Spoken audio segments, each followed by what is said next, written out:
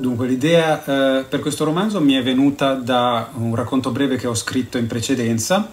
In questo racconto ehm, avevo cercato di descrivere eh, due persone, un uomo e una donna, attraverso gli occhi di eh, un animale selvatico spaventato, per cercare di eh, così di restituire le impressioni, le sensazioni che io immaginavo potesse provare questo, questo animale spaventato, ho cercato di eh, descrivere eh, le due persone come delle due creature stranissime, eh, due, ehm, due, creature incomprensibili fatte di così un coacervo di ehm, parti anatomiche animali ehm, combinate alla rinfusa.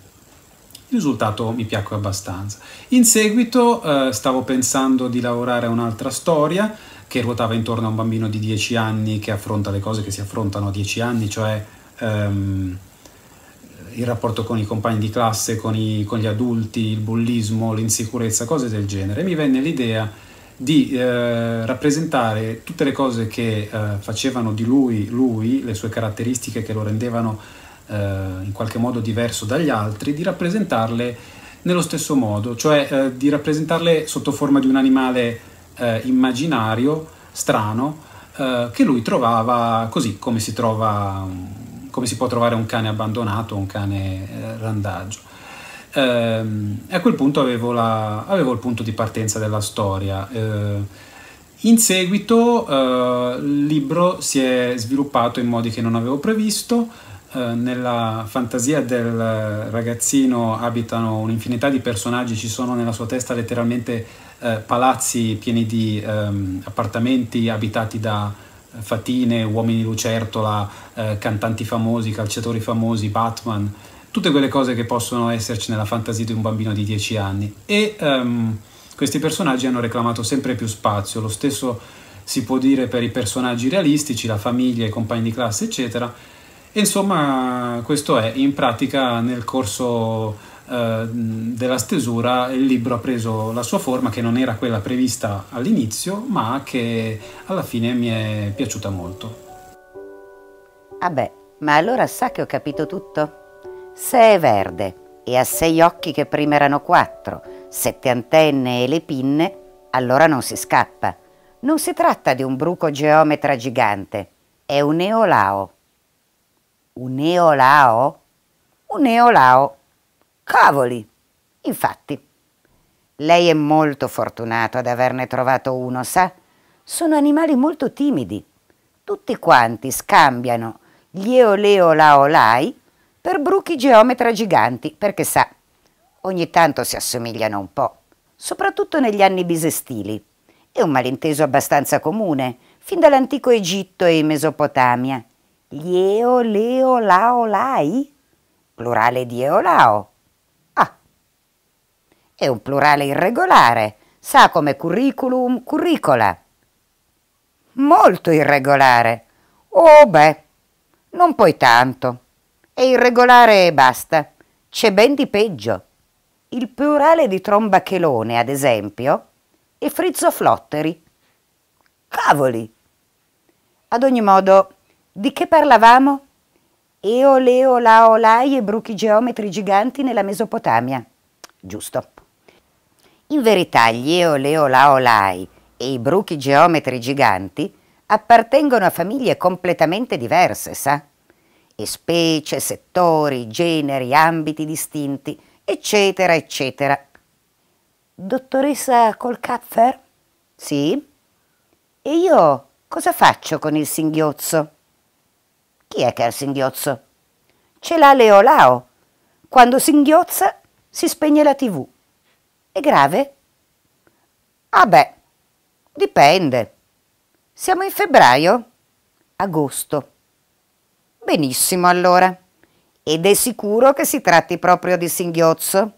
Non è che magari il suo Eolao squimbrottola? Il Tullio. Ci penso su un momento. Ha presente lo squimbrottolio tipico dell'eolao? Sa quella specie di firi firi deng deng opla opla? Ha presente?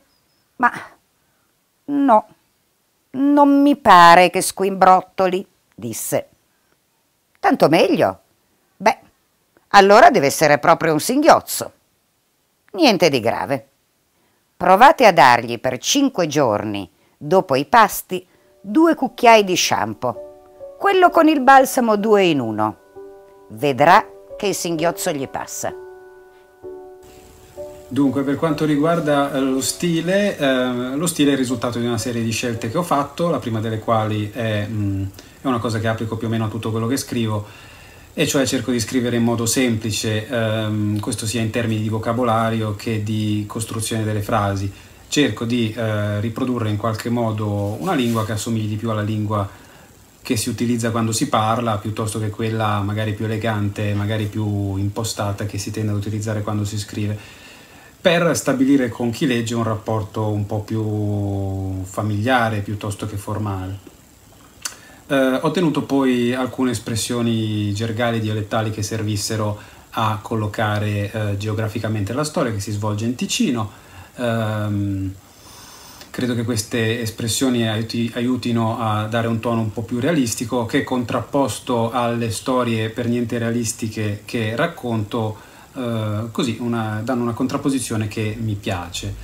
Infine mi interessava evocare eh, ovviamente un'atmosfera, eh, l'atmosfera dell'infanzia, visto che il protagonista è un bambino di 10 anni e eh, quindi la lingua che ho utilizzato è molto giocosa, è piena di cose buffe, eh, di giochi. Lui per esempio, il protagonista, ha questa fantasia spropositata, quindi eh, quando scrive i temi scolastici non gli bastano i normali strumenti grammaticali per esprimere eh, le cose enormi e gigantesche che ha nella testa, deve utilizzare una sorta di sgrammaticatura che nel libro viene chiamata eh, il superlativo iperbolico, c'è anche eh, nel titolo del libro, il titolo è eh, Il Tullio e Leolao più stranissimo di tutto il Canton Ticino, più stranissimo è il superlativo iperbolico.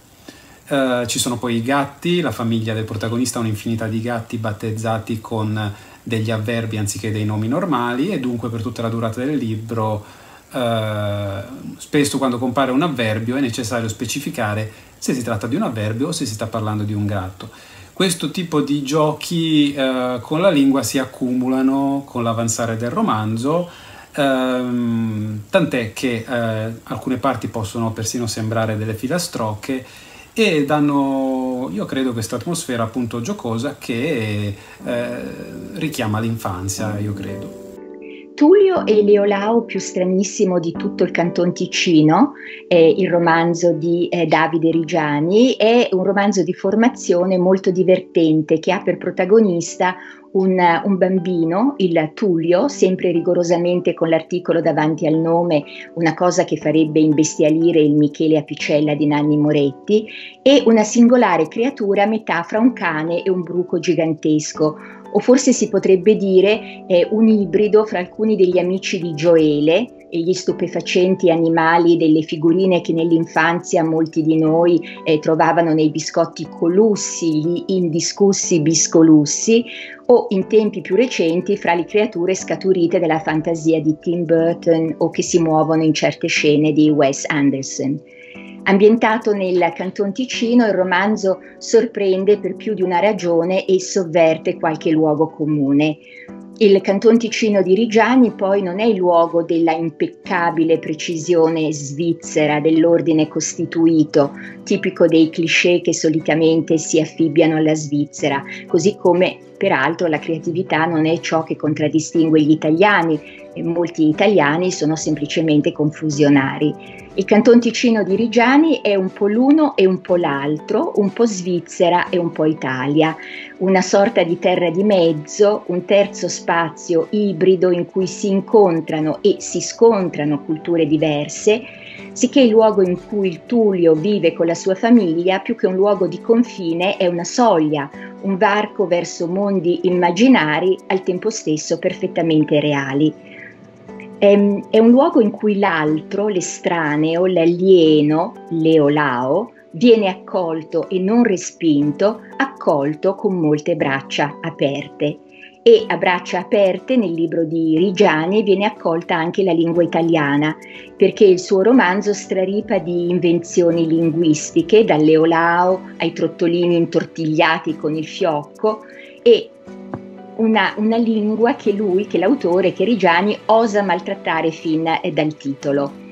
Quindi questo bel romanzo è eh, sia per ragazzi sia per lettori di qualsiasi età e forse sarebbe più giusto dire che è per tutti quei lettori che non hanno dimenticato il bambino che ancora alberga dentro di loro.